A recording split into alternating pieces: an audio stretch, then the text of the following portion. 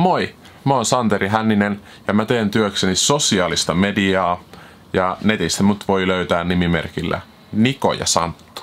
Mä valitsin Lysean, koska iskä alkoi hoilottaa mulle jo yläasteen alussa, että Santeri, sit kun meet sinne lukioon, niin sä meet kyllä Lyseoon, se on paras koulu. Ei siinä kyllä valinnan varaa jäänyt ja en oo kyllä hetkeäkään katunut.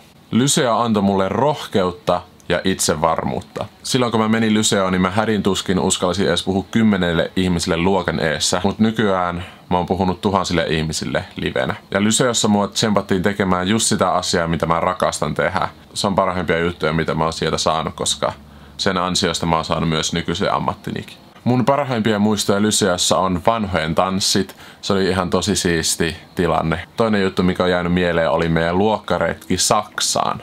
Siellä oli ihan tosi hauskaa ja pääsi puhumaan englantia ja näkemään hienoja paikkoja.